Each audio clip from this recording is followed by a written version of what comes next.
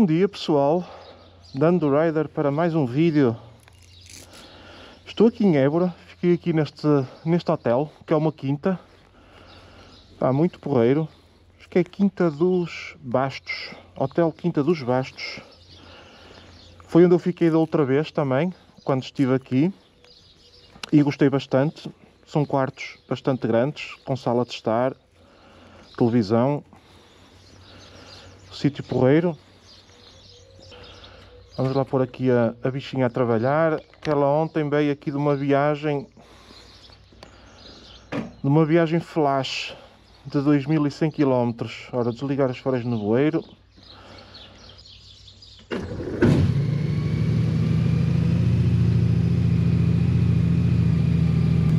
Já lá aquecer um bocadinho. Bem, então este vídeo, eh, como eu vim ontem de uma viagem, eh, para, quem, para quem me acompanhou no Facebook ou no, no Instagram não, foi no, no Facebook.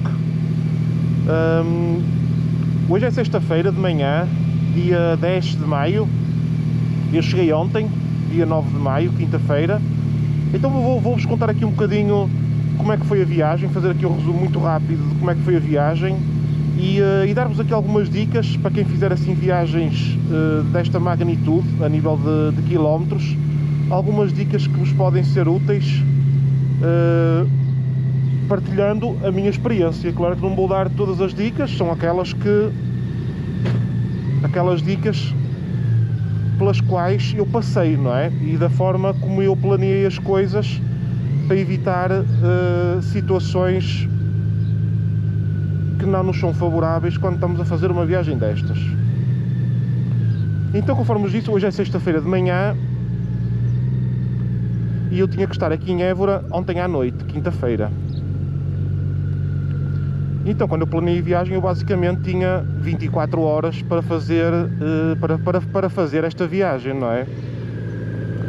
E, um, e o que é que aconteceu? Não liguem aqui este vidro frontal, que isto foram os, foi uma oferta que me fizeram a um vidro personalizado, com uma pintura personalizada. Foram os mosquitos do Luxemburgo, de França e de Espanha, os mosquitos pintores, que se juntaram todos e resolveram fazer-me esta, aqui esta oferta daqui de um vidro personalizado com uma pintura abstrata, tipo Picasso.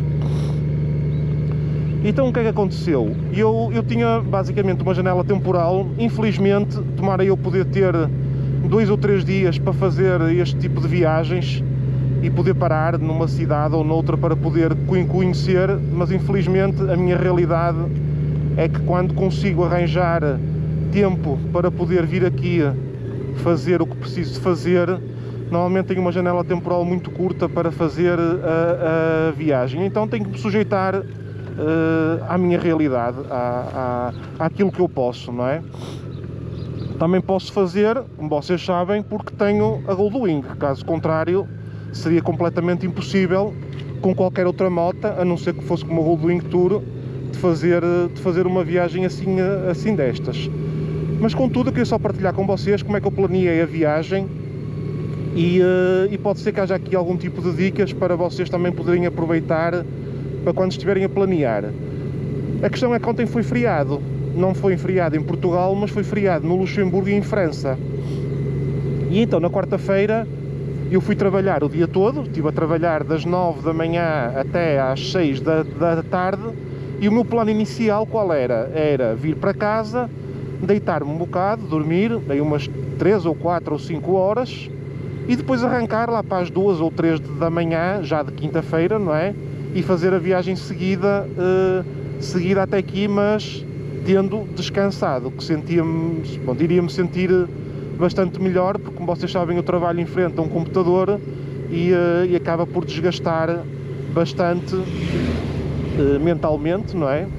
E uh, isso pode prejudicar, pode prejudicar a nível de, de sentir sono depois durante a viagem.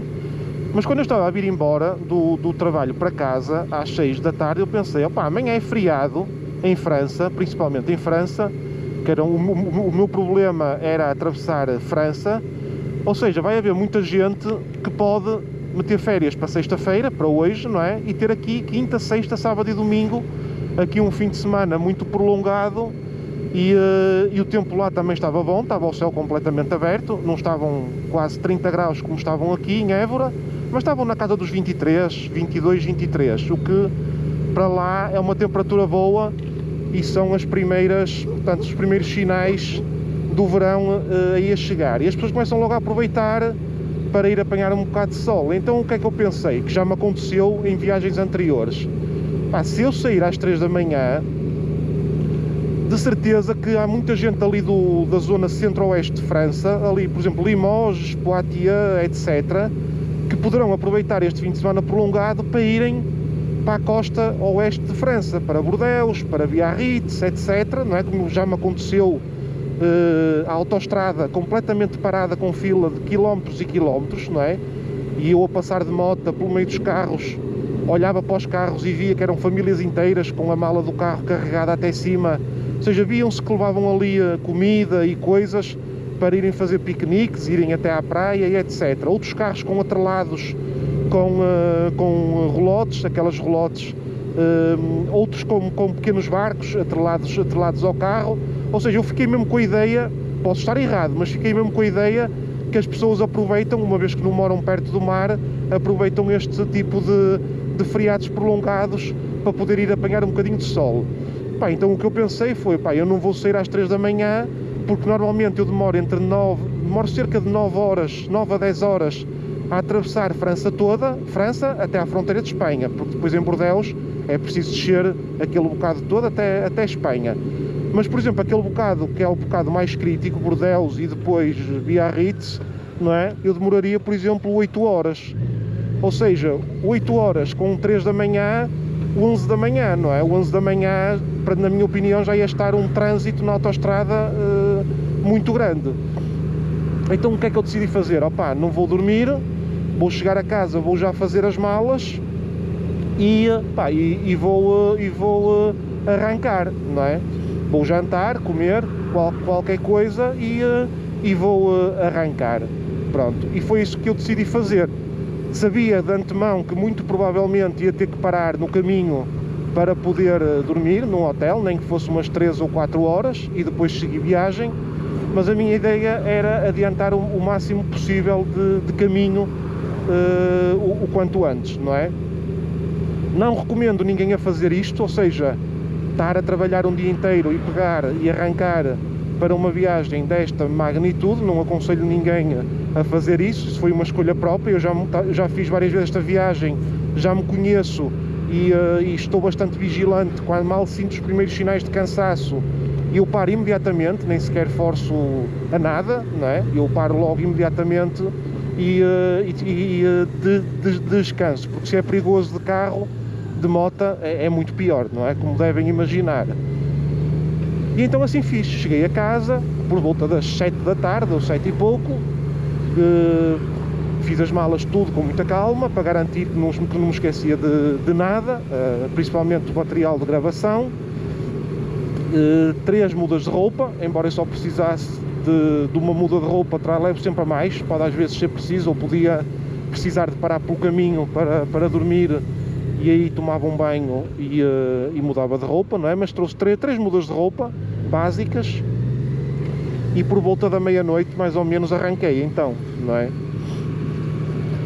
Arranquei, pá, foi, foi uma viagem muito porreira uh, durante a noite, atravessar França durante a noite era basicamente só caminhões que se via encostados ao lado direito a 90 km por hora e uh, pronto, aquilo que eu fiz é o que faço sempre, o limite de velocidade em França é 130 km por hora e eu andei sempre, né, sempre de cruise control entre os 100, mais ou menos 130 a 140, sempre, dentro, sempre muito dentro disso. E, hum, pá, e então entrei em Espanha, em Irún, não é? Logo a seguir à fronteira, entrei às 9 da manhã, não é? Portanto, demorei cerca de 9 horas. As paragens que eu fiz foram únicas exclusivamente para abastecer, era parar, abastecer, acho que o máximo que parei foram para aí 15 minutos, mais ou menos, e foi sempre a andar. São cerca de 1100 km, mais ou menos, a atravessar França. E pronto, então entrei, uh, entrei em Irún, não é, às 9 da manhã.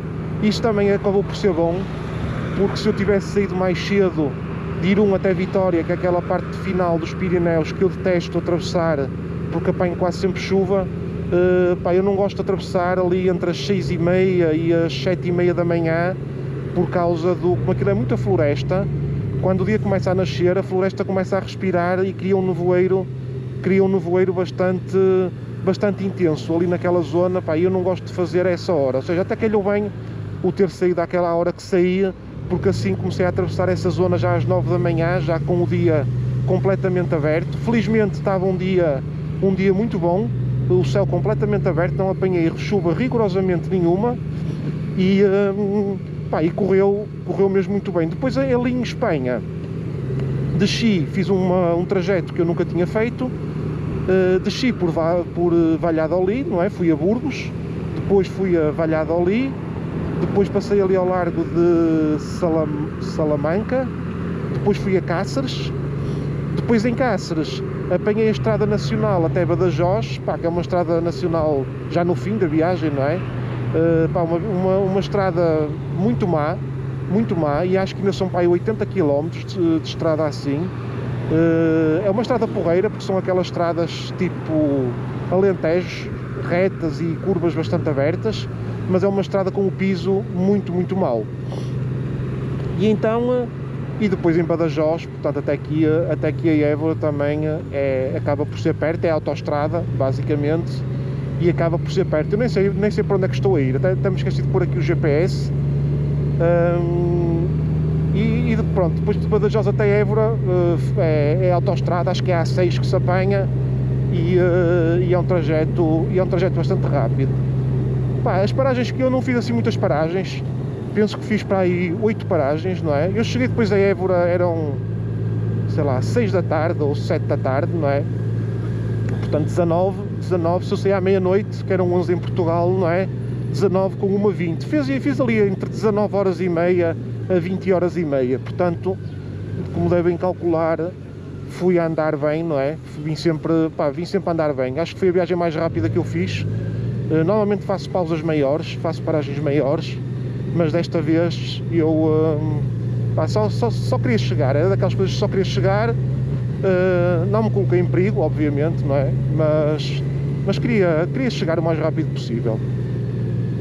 Em relação a. Já cheguei a Évora, pá, a nível de dores corporais, zero, completamente. Uh, não tinha dores nenhumas no corpo, apenas sentia um cansaço, um cansaço muito grande porque sentia um cansaço muito grande porque porque estava sem dormir desde as 7 da manhã, não é? Desde as 7 da manhã do dia anterior e isso não há milagres, como é lógico, não é? Eu estou a ver ali um quiosque e eles têm ali café. Eu vou ali tomar um cafezinho aqui em frente ao templo de Diana. Ora, agora vamos fazer aqui uma coisa que dá muito jeito. Fazer aqui uma marcha atrás. Vou encostar lá aqui e daí não, vou pôr antes aqui. Uh, pá, a nível de cansaço, não, não, não, tive cansaço nenhum, a nível corporal, não cheguei com dores em, em lado nenhum. uh, estava era com sono, não é? Como é lógico, estava todo rebentado. E então, uh, deixa-me dar aqui a volta, só, desculpem lá esta pausa. Vou só estacionar aqui num instante aqui a moto, que aqui é melhor, que ali é uma curva, para não estar a chatear ninguém, a estorvar ninguém. A nível daqui da, da Goldwing, isto é que eu queria falar aqui com vocês um bocadinho, que foi algo que me chamou a atenção nesta viagem. Deixem por aqui à sombra, que assim até vocês conseguem, vou deixar a moto ligada para vocês verem melhor. Então o que é que acontece? Pá, a Goldwing, quando se faz assim este tipo de viagens, hum, pá, uma das coisas, ao, ao, fim de, quando nós fazemos 200 ou 300 km, pá, é tudo fácil, nada nos incomoda, é, pá, é tranquilo, não se passa nada. Mas quando fazemos, eu já, eu já nem digo 2100, não é? Como eu fiz ontem, assim de uma vez. Mas basta fazer assim mil e vocês depois, um dia, se forem fazer assim alguma viagem, podem tentar fazer a experiência por vocês próprios do que é fazer assim seguido, arrancar de casa e parar uh, ao fim de, de mil quilómetros. Mil quilómetros é sair, por exemplo, do Porto e chegar uh, aos Pirineus. Estão a ver? É atravessar Portugal e Espanha seguido. Portanto, basicamente, é mais, não, é, é, é mais um bocado é chegar a Bordeus, é, do, é Porto Bordeus, mil, mil ou mil e cem quilómetros. E, hum, e, uma das coisas que eu vinha a notar na viagem, eu fiz aqui várias experiências, não é? Que eu, eu gastei, penso que gastei sete depósitos a vir para aqui, então fiz várias experiências. Esgotei um depósito a 120 km por hora, esgotei um depósito a 130, um depósito, esgotei um depósito a 140 e fiz também aqui uma outra experiência uh, a 160 km por hora. Pá, e o que esta moto tem, que mais nenhuma moto no mundo tem, não é? É, é o, o, facto de ter uma caixa de 7 velocidades. Pá, só isso, numa viagem destas, dá-vos uma. É, é, é, uma diferença a nível de cansaço que eu vou já explicar porquê. Ela a 130 km por hora, por exemplo, que é a velocidade máxima em França, pá, vocês vão às 2500 rotações, a 130, aqui às 2500 rotações.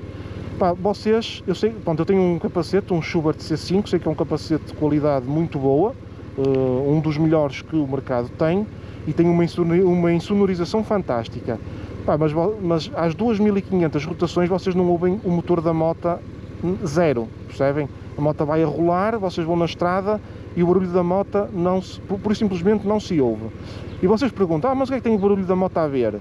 pá, experimentem fazer uma viagem de 1000 ou 1100 km, já não digo 2000, com uma Big Trail, por exemplo, uma bicilíndrica, e experimentem ir a 130, atravessar França de uma ponta à outra, e experimentem ir, por exemplo, a 130, que vão para aí, sei lá, 5 mil rotações, não faço, não, agora não estou assim a, eh, a ver muito bem, e, e digam-me depois, ao fim de 400, 500, 600, 700, 800 km, como é que os vossos ouvidos estão. Isso depois afeta a cabeça e, quebra, e mentalmente quebra muito, não é? Fazer uma viagem destas, a ir ali ouvir constantemente o barulho da moto, o motor ali eh, em esforço. A 140 km por hora também fiz a experiência, ela vai às 3000 rotações, não se ouve rigorosamente nada também da moto. Vai-se ali, pá, não se ouve, é, é um espetáculo.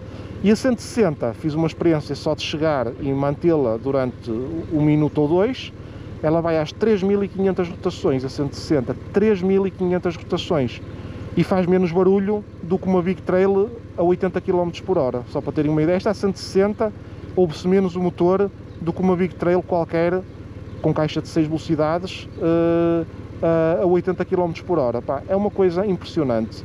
E isso é, uma, isso é mais uma das coisas, de outras que eu já falei nas outras viagens que já fiz, que desta vez eu, eh, eu apercebi melhor, tomei, tomei mais um bocadinho de, de atenção a isso. Pá, e realmente é, pronto, além da posição de condução, de todas as coisas que eu já vos falei da proteção frontal, que não se apanha vento rigorosamente nenhum, eh, é o facto de se conseguir rolar a velocidades bastante boas com, e a rotação extremamente baixa e praticamente nem se ouve o motor e isso é uma grande ajuda para diminuir uh, o cansaço com os quilómetros.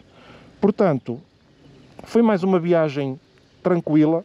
Vocês, com uma moto destas, uh, aliás, vocês já, já sabem isso, que eu já fiz vários vídeos com esta moto, com as viagens. Vocês sabem que se comprarem uma Goldwing, uh, não há no mercado nada melhor para fazer este tipo de viagens.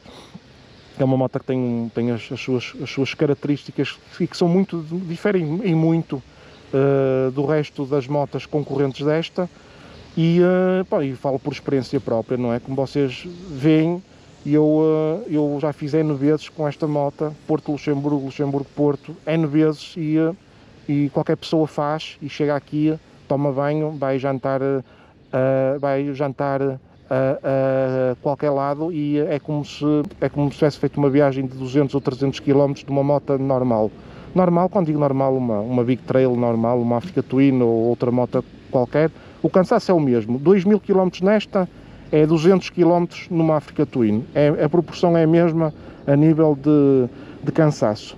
Eu, eu, eu, eu, até, eu até trouxe a cinta, eu até trouxe uma cinta, que eu estava em dúvida se às vezes me poderia começar a doer as costas ou qualquer coisa do género, nem, nem foi preciso hum, colocar nada, eu prefiro trazer a mais do que a menos, mas nem precisei de, de, colocar cinta nenhuma porque nem dores nas costas, nem dores nos braços, nem dores uh, em lado nenhum. E pronto, pessoal, uh, era para, vos deixar aqui assim um, um bocadinho estas dicas. A situação dos, do feriado, não é? Às vezes ter assim em conta quando há feriados, uh, às vezes nos países, pode vocês, ao fazer assim uma viagem maior, pode-vos trocar aí as voltas todas, porque eu, eu já apanhei ali em Bordeus a autoestrada completamente parada e estamos a falar de filas de mais de 20 km que eu, que eu, que eu na altura tive. E, uh, e portanto foi, foi um bocadinho por aí. De resto foi só parar, encher o depósito. Uh, houve lá uma vez que parei mais um bocadinho, pá, 15 minutos para comer uh, alguma coisa, mas foi uma viagem daquelas mesmo flash, flash. Nunca tinha feito uma viagem tão rápida como a que fiz, como a que fiz ontem. E, uh, e pronto, e agora ela vai, vai ser entregue aqui na, na Motodiana e vocês vão ver no próximo vídeo o que é que vai acontecer a esta moto e o que é que vem aí, as novidades, porque conforme podem ver aqui, não é? isto de andar aqui com isto a fazer viagens, nunca me aconteceu nada, isto uh, está bem seguro, mas eu, uh, pá, isto não tem assunto nenhum de andar, de andar a viajar com mala em cima, até porque eu, eu preciso parar a moto, por acaso vou aqui a um café em frente, mas precisasse ir a um supermercado ou eu visitar um museu, não é? Ia ter que tirar isto, andar com isto na mão, porque não ia deixar isto aqui. Tenho aqui uh, computador e tenho aqui coisas de, de valor, não, não posso deixar isto aqui na moto. E portanto, na minha opinião, uh, a moto não está apropriada para fazer uh, este tipo de viagens e então tenho que encontrar a solução, não é? E a solução vocês vão ver no próximo vídeo o que é que vai acontecer. Ok, pessoal? Espero que tenham gostado do vídeo. Foi aqui um resumo muito rápido do que é que aconteceu na, na, durante a, a, viagem, não houve precalços nenhums, conforme vos disse, foi sempre a andar, basicamente, comer quilómetros. Eh, não filmei também nada, porque não tem nada que filmar, filmar a autostrada sempre a andar não tem nada que, que, que fil, filmar e o meu objetivo era única e exclusivamente chegar a, a Évora, chegar bem e chegar a Évora e não andar a perder muito tempo a montar câmara, a tirar câmara, até porque tenho aí um vídeo de mais de uma hora de uma viagem completa que fiz do Porto até o Luxemburgo, uh, que um vídeo de uma hora e, e dez ou isso, com todos os pormenores da, da, viagem ao longo do, do, caminho e, portanto, a viagem acaba por ser sempre um bocadinho mais do mesmo. Outro pormenor, outro, outro pormenor só para terminar aqui o vídeo agora. Um, eu era para ter vindo pelo sul, uh, portanto, para vir por Lyon e atravessar, fazer Barcelona e fazer essa parte de baixo, mas depois, quando eu saí, eu disse, opá, são mais 300 ou 400 km, ou seja, em vez de 2100 iam ser 2400, mais ou menos. Pá, eu só queria fazer o caminho, percebem? Acabei por vir pelo trajeto normal, vim ali pelos arredores de Paris, Orleans, não é? Poitiers, vim até Bordeaux, desci, portanto fiz o caminho normal e o caminho mais perto hum, e, e pronto, e é isso. Espero que tenham gostado do vídeo, um grande abraço e não percam o próximo vídeo porque vocês vão gostar aqui em Évora.